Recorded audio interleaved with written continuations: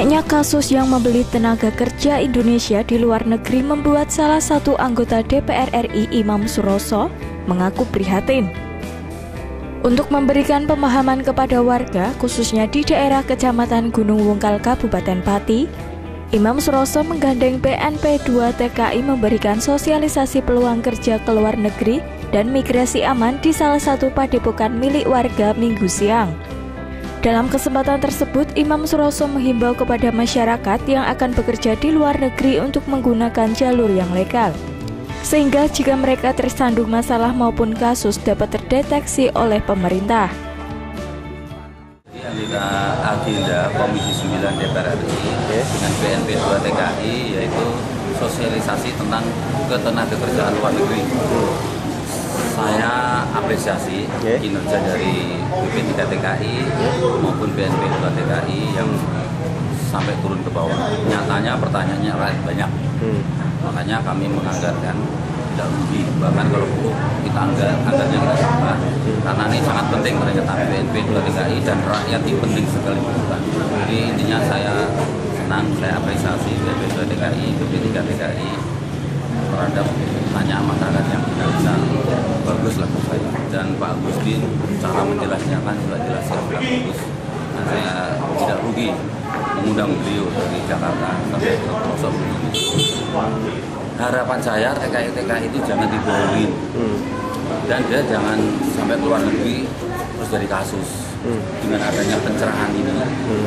saya yakin nanti meminimalisir kasus di luar negeri meminimalisir ditipu orang kampung orang desa ini oleh para calon harapan saya itu sejahtera aman kerja dan sukses lah sesuai harapan masyarakat. Ada hiburan tidak pak? Ya hiburan saya masyarakat tidak usah terlalu percaya dengan calo. Hmm. apa yang disampaikan Pak Gusti dan anak buahnya nanti dilakukan. Pokoknya yang legal aja jangan ilegal. Yang legal-legal saja mesti terpantau oleh negara diamankan negara baik gajinya baik keselamatannya dan perlindungannya. Itu harapan saya terus tadi perihal itu Pak yang tiga tahun ke depan perawat itu bagaimana itu Pak? Nah, perawat itu itu usulan BNP juga bagus juga. Itu akan menkes ya sebagai yang memproduksi selama nanti akan jasanya internasional. Hmm. Ini sudah diurus secepatnya hmm. dan mudah-mudahan segera cair. Hmm. Negara akan memantau dan membiayai. Itu bagus lah. Ya daripada TKI yang ya SDM rendah lebih baik kita kirim tenaga kerja yang SDM tinggi itu terhormat. Berarti yang kasus. Berarti yang rendah berarti tidak ada tuh gimana tuh Pak? Ada yang ada pelan-pelan, pelan-pelan. Hmm. Yang rendah-rendah itu nanti akan dibiayai negara, modal negara untuk membesarkan NKRI ini yang butuh tenaga juga. Dalam sosialisasi tersebut, Imam Suroso juga mengapresiasi pihak BNP 2 TKI yang rela turun ke masyarakat untuk memberikan pencerahan dan penjelasan kepada masyarakat. Sementara itu, Deputi Bidang Penempatan BNP 2 TKI Agustin Subiantoro mengatakan, Kegiatan sosialisasi peluang kerja luar negeri dan migrasi aman merupakan forum penyampaian program dan kebijakan kepada masyarakat menyangkut penempatan dan penyaluran TKI. Bahkan dengan sosialisasi yang dihadiri ratusan warga Kecamatan Gunung Wungkal tersebut, sangat antusias menanyakan segala macam persyaratan untuk bekerja ke luar negeri sehingga ke depan masyarakat tidak tertipu dengan peluang kerja luar negeri yang fiktif dan berangkat ke luar negeri secara benar dan legal.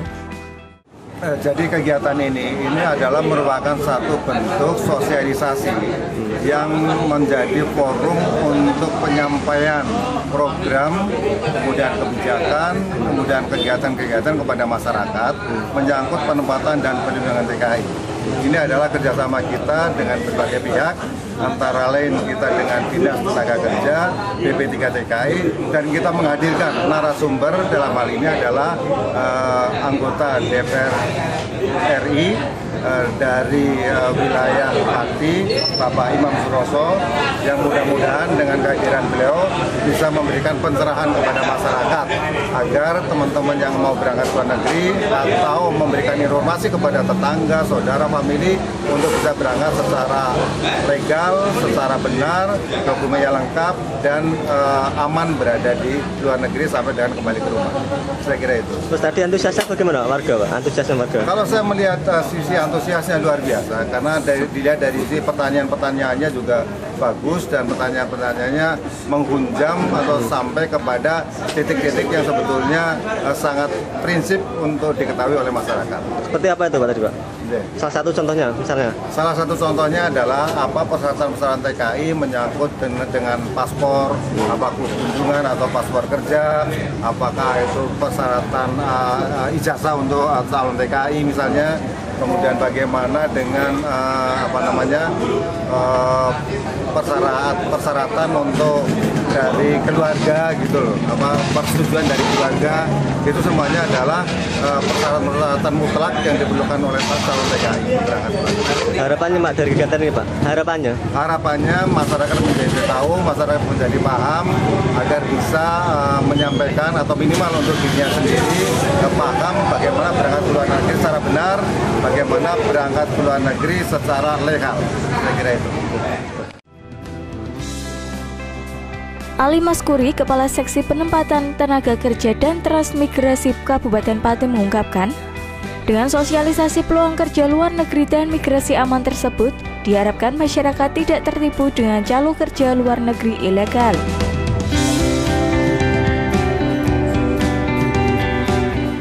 Satunya perihal kegiatan sosialisasi peluang kerja keluar negeri seperti apa Pak? Ya baik Mas, terus terang itu sudah sering disampaikan hmm. sosialisasi sudah sering disampaikan tapi tadi ada permintaan ada usulan kok minta disosialisasikan ke warga masyarakat hmm. itu sudah kemarin sudah disampaikan ke sini ke desa hmm.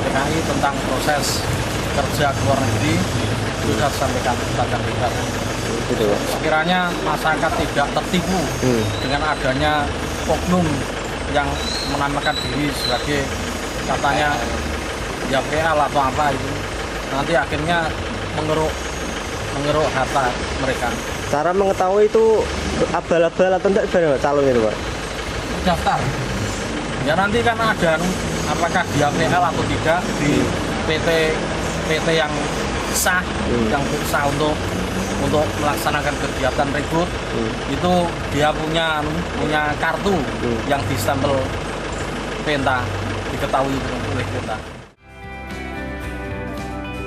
Sementara Mulyono, warga Gunung Wungkal mengungkapkan, dengan digelarnya sosialisasi tersebut, dirinya mendapat tambahan pengetahuan perihal peluang kerja secara aman ke luar negeri.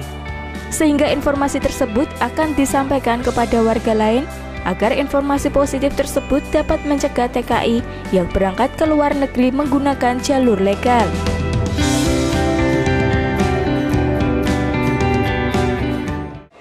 Tanggapan warga perihal adanya sosialisasi peluang kerja keluar negeri seperti apa Pak? Ya untuk tanggapan masyarakat khususnya di Gunung Kal pada umumnya di Kecamatan ini sangat bagus Mas. Selama ini dari tahun ke tahun ini baru kali ini diadakan dan ini menurut uh, masyarakat sangat bagus, positif di mana tadi uh, penjelasan yang cukup detail mengenai PJTKI, baik itu mengenai uh, keselamatannya, kemudian mengenai PT-PT uh, yang resmi sudah dijelaskan, Mas. Jadi ini benar-benar uh, bisa memberikan motivasi yang baik untuk ke depan tenaga kerja ke luar negeri yang di Indonesia. Ada harapan enggak dengan adanya ini masyarakat depannya seperti apa? Ya kami bersama masyarakat, tokoh masyarakat yang tadi menjadi peserta di sini akan mensosialisasikan dengan kepala desa baik secara langsung maupun dengan secara uh, rembuk kegiatan warga. Tim Liputan Simak 5 TV melaporkan.